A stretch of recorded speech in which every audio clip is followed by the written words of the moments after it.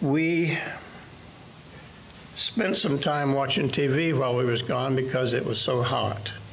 I know you guys was having cool weather up here, but uh, I was watching a, a, a news uh, uh, that was had a panel of people, and they were talking about how much damage this COVID had for the world and the great losses of life and businesses closing and people still to this day not going back to their jobs because the government is doling out unemployment and all kinds of uh, benefits that keeps them home and the toll that it's taking. Part of the problem with businesses closing is they can't get people to work. And it's just a sad situation. They talked about the schools and how the children had uh, been so far behind uh, in their studies and what they not only hadn't gained for the time that they was off, but the amount that they knew already knew that they had lost, and it's going to have to be retaught to them. Uh, one of the things that came up was the churches. The churches in this country have lost so many members that just do not, did not come back after they were not allowed together to meet and many of them are watching uh, services on the internet and and uh, different things, and it just it's just something that is so disheartening to think that people that profess to be Christians would let something like that interfere with their serving their God. This morning we're going to talk about uh, something that is very real, but I believe it is also something that we oftentimes neglect to understand what's happening to us as Christians. I know that there are many Christians and so called uh, Christians that want a Christianity that asks very little of them. They're content to practice their faith as long as it does not interfere with their lives. And it does not call for a sacrifice. We want God to hear our prayers, and we want God's ever blessing. That's the thing that we want as Christians. But we want to believe that we can get along with Christianity by believing what we want to believe and how we want to believe it. We don't want our Christianity to embarrass us in front of our non Christian friends. We don't want to have a strict morality or talk about sin and don't ask us to believe anything that's offensive to the world and to what they are professing nowadays, which is a lot of times unthinkable for us, isn't it, as Christians, to think about what even our own government, to think about what's going on in our own government that's ruling us and making laws for us. One of the things that I believe is the most dangerous to us is that we have a concept that we are able to defend ourselves against anything that comes down the pike. But just look at the attitude that we have sometimes about the things that are going on in the world, Maybe we are not supporting them, but we're certainly not objecting to them either, as we ought to be. What is authentic Christianity? What does that mean, authentic?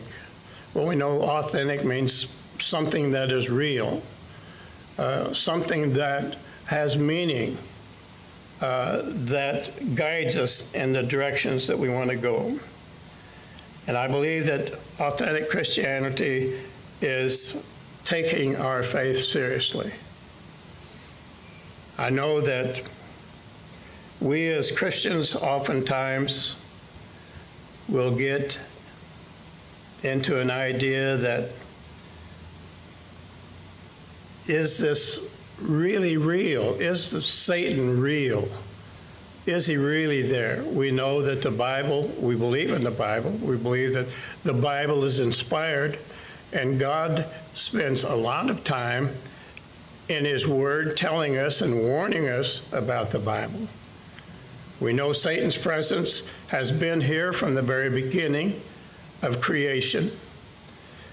We know that the world got so bad that God destroyed it, with the exception of eight souls. We know our God, we know He loves us. What could have possibly happened to people that it got so bad that God had to destroy the world. Have you ever asked yourself that? We know that God loves each and every one of us. He wants us to be saved. He doesn't want bad things to come to us. You know, so many times people blame God for bad things that happens in their lives. But they're blaming the wrong person. We need to be blaming Satan for those hurts and pains that comes into our life and not God. What can we do as Christians to make our faith stronger? To make our lives brighter in the sense that we know what we have to come, and that is eternal life with God. But are we risking it by not accepting the fact that we are in a battle with Satan? We are in a battle for our lives and our souls, and for those that we love. We're in a battle to overcome. In Ephesians chapter 6, verses 10 to 13, it says this Finally, be strong in the Lord and in the strength of his might, put on the full armor of God, so that you will be able to stand firm against the schemes of the devil.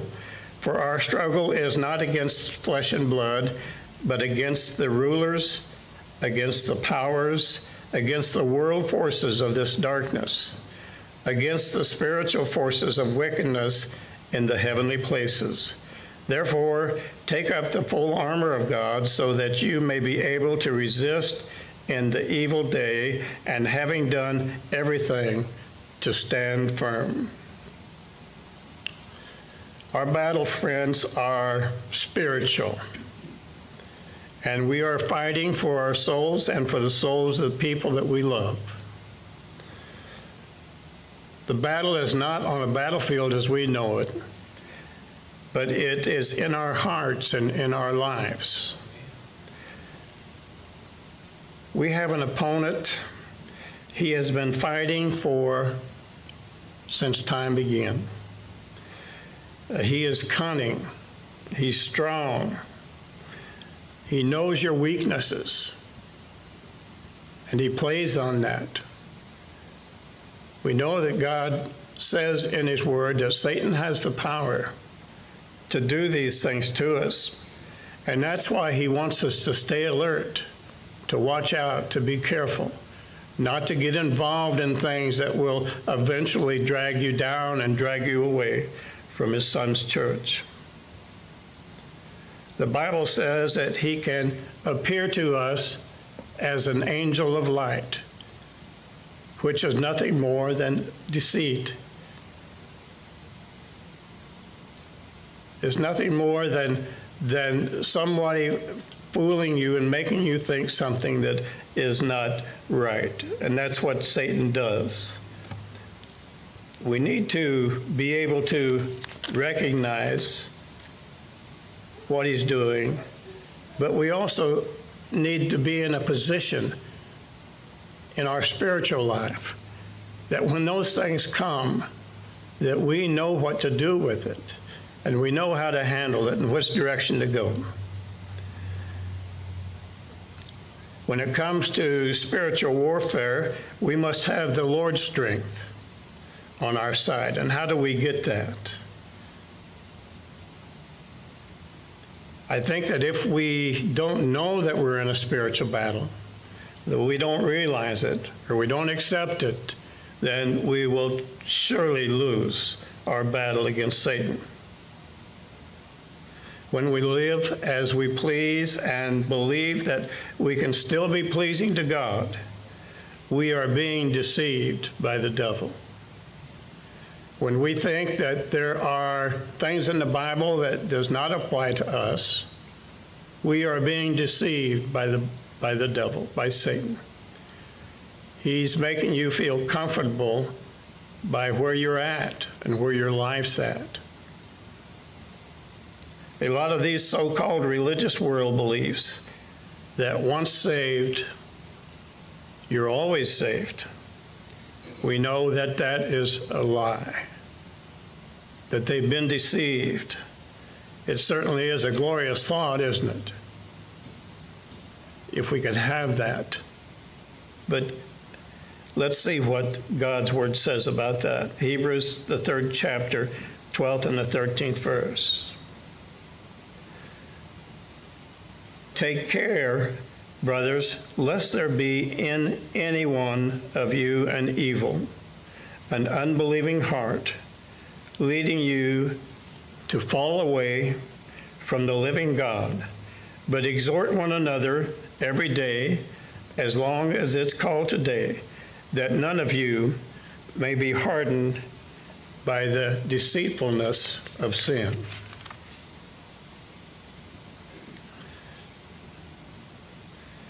We must not take our salvation for granted. We must stay strong in our faith. We must follow our Lord's will in everything that we do. We have confessed to accept Jesus Christ as Lord and to follow his will.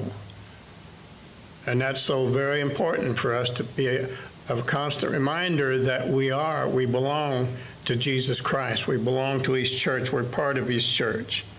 And we need to always follow what Christ's teachings are and follow His will. If we are not prepared to fight spiritually, we will surely lose to Satan.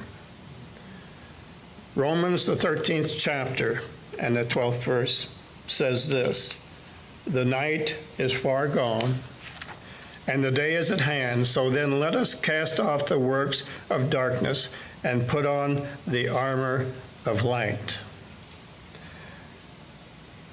It's absolutely necessary for us to have God's help with the schemes of the devil. We know that God has provided us his word, and we know what that says, and it's we can be an encouragement to one another in fulfilling that battle that he has set for us.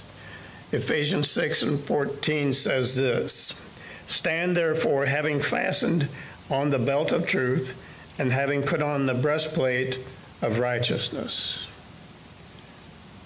Fasten the belt of truth. We know that is what? Knowing what the Bible says.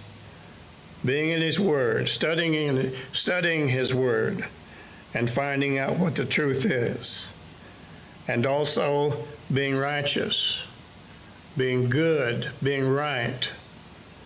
In the right direction is what righteous means. This belt of truth It keeps us right on the track and in the right direction. It's the best weapon against false doctrine is God's word. Is our best defense against moral deceptions, against counterfeit religions. We can use the word of God if we know what it says. It exposes the devil as a liar and an immoral deceiver. In the breastplate of righteousness, we are to live morally, pure lives, making our election sure. That is, that, that we have that hope of being with God forever if we do these things that God tells us to do. We will have a peace of mind and a peace of, and a heart that is familiar with God's word and how to overcome and what we need to do in order to be pleasing to God. And it's a great encouragement for us as Christians today in this family right here. Although as small as we are, we still should be a great encouragement to one another. When we know that we are right with the living God, it is that kind of encouragement, isn't it? To say that not only for our good, but also for the good of all others, and for not only the ones that we love, but the ones that uh, we're in contact with. You know what God says about us as Christians, that that's how the world knows that we're his disciple. By the way that we act and talk and express our love and concern for them Here's what the Lord said in Matthew 5 and 6.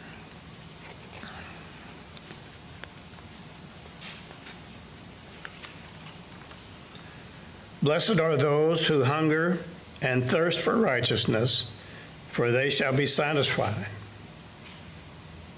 We need righteousness, don't we? We need to be right with God. We need to be right in the path that we walk while we're on this earth. We need to be right on the things that we tell people about how they need Jesus and how to, to have Jesus in their lives. In Matthew, the sixth chapter and the 33rd verse, it says this But seek first the kingdom of God and his righteousness, and all these things will be added to you.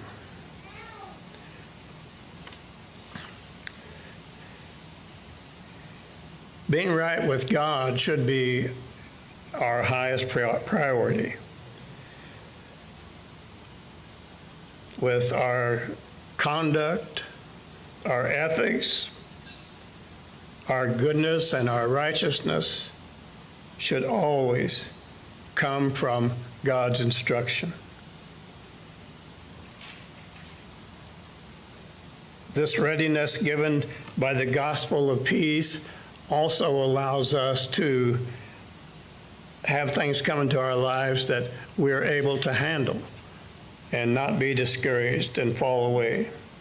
In Ephesians, the sixth chapter and the 15th verse, it talks about girding your waist with truth. And that, of course, is knowing what the Bible says. What does God say? And the breastplate of righteousness. And to shod your feet with the peace of the gospel.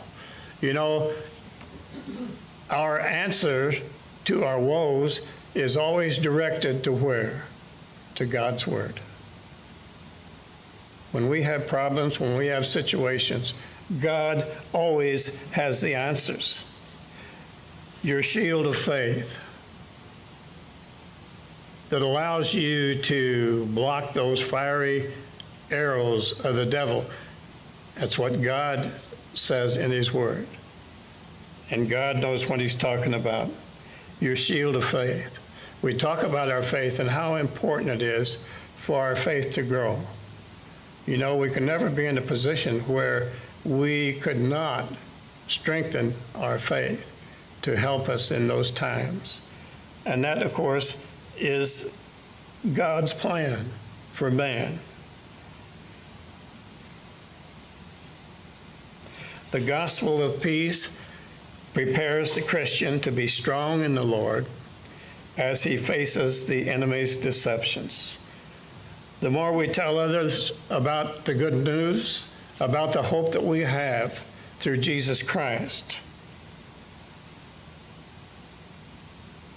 I believe that we'll not only build our faith, but it'll also confirm our faith, not only to ourselves, but to others that are looking and watching. Christians are busy, when Christians are busy telling others about the peace that they have through the gospel, uh, will leave them little time to think about things that will take them astray.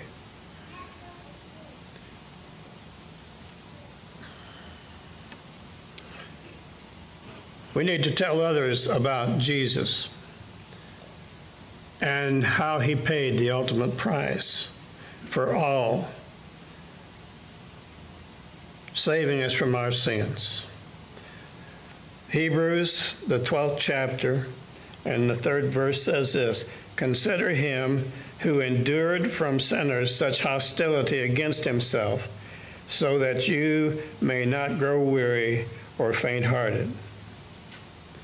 We can look at the lengths of Jesus from the very beginning, coming to this earth and leaving what he left, leaving heaven to come to this earth full well knowing what was to happen and how people treated him, and yet continued to love and to care and to go to the cross to give his life that we may have life eternal.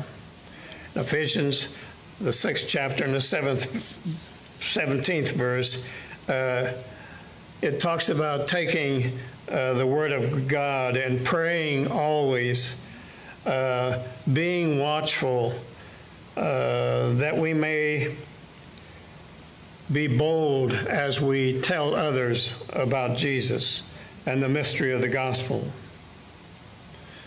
We know that God's Word is able to pierce people's hearts. When we see that length that Jesus did and went through, we should go bolder in our faith and in our belief in what God can do.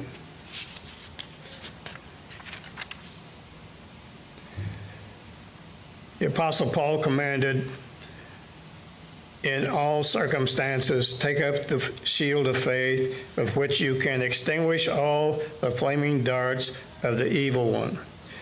So, faith in Christ Jesus as the Lord keeps us safe from the flaming arrows, all those lies and deceitful things and false doctrines.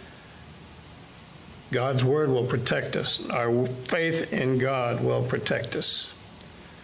Ephesians 6, verses 18 and 19. Praying at all times, God protects us when we pray. And Philippians 4, verses 6 and 7 says this Be anxious for nothing, but in everything by prayer and supplication, with thanksgiving, and let your requests be known to God. And the peace of God, which surpasses all comprehension, will guard your hearts and your minds in Christ Jesus. Paul says there's two ways to stand tall spiritually that is, to pray often and to stay alert, to pay attention, and to know what's right and what's wrong. Prayer keeps our focus on God rather than our selfish desires, and you know that there's not a one of us here that doesn't have those desires. We have those desires to be happy, and that's not unnatural. God made us that way. But we have to make sure that those desires are regulated in the direction of God. Isn't it funny how often we've talked about praying, how important it is to pray, to talk to God, to let Him know about what's on your mind and what you're thinking. And what, uh, uh, what a wonderful God we serve that has made all these things so clear to us that we as Christians can know that He's there for us when we need us. He wants to talk to us. He wants us to talk to Him. He wants us to pray. Matthew 26, verses 41 Watch and pray that you may not enter into temptation. The spirit indeed is willing, but the flesh is weak. Prayer keeps us focused on God rather than our selfish desires. And when we prepare for temptation, uh, when it comes, it's not a surprise, is it? When we know that it's coming, we can handle it much easier if we know that God is on our side and He always gives us a way out. Be sober minded, be watchful, be alert, stay alert, and pray to God.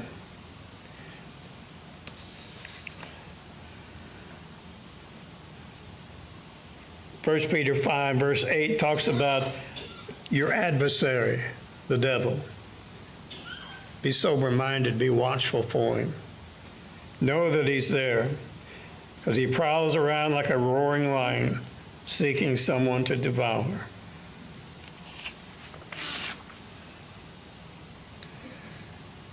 In 2 Thessalonians, the 15th verse says, So then, brothers, you stand firm and you hold to the traditions that you were taught by us, either by our spoken word or by our letter.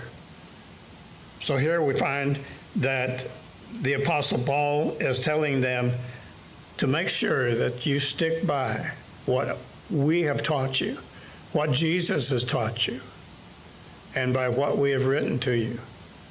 You know, and that's the same charge to us, isn't it? We need to know what God's Word says. We need to study it. We need to, to spend time in His, in His Word. God's word, it it helps us to the point that when danger comes, when there is something that is dragging us down, that we are able to resist. We know one thing for sure that God has told us that He will not allow a temptation greater than we can handle. But we need to be prepared for it we can't just be uh, sit back on our haunches and not uh, taking action as God speaks. Again, that taking the whole armor of God. We talked about the breastplate. We talked about uh, the things that that protect us from Satan. We want to make sure that we understand what that is. Are we doing everything that we can to prepare for those days that Paul talks about? And are we reading, are we studying our Bible, knowing what good, what's good and what's bad, and what's wrong and what's right, or what's true or what's false? We need to be worshiping God on a regular basis, coming together on the first day of the week we need to make sure that our prayer life is up to par and never forget that great hope that we have through Christ. We know that being a Christian demands a full commitment to the Lord. Romans 12 and verse 1 uh, talks about uh, our bodies as being a living sacrifice, a holy sacrifice, acceptable to God. And also in Corinthians, the sixth chapter, it says this, verses 19 and 20. Do you not know that your body is a temple of the Holy Spirit with you, whom you have from God? And you're not your own, for you were bought with a price. So we need to do what? Glorify our God with our body. I believe that, that uh, we should never make the mistake that if we let the devil have a foothold in our hearts, that we are certainly not pleasing to God and we're not doing what God tells us to do to protect ourselves. We should always keep that in mind. Ephesians 6, verse 10 says, Finally, be strong in the Lord and in the strength of his might. We need to be, have a strong trust in the Lord, a strong courage, a strong endurance, and a strong hope, a strong love, and a strong knowledge of God's Word. And when we have that, we're going to be pleasing to God. The Church of God's family, 1 Timothy 3:15, talks about our members, the family of the church here. He's designed this loving family, this church, his son's church, to meet the spiritual needs of all of us. And you know, God's arms are always open and are longing for those to come home to Him. And we're going to give you that opportunity now as we stand and sing, Won't You Come if you have a need.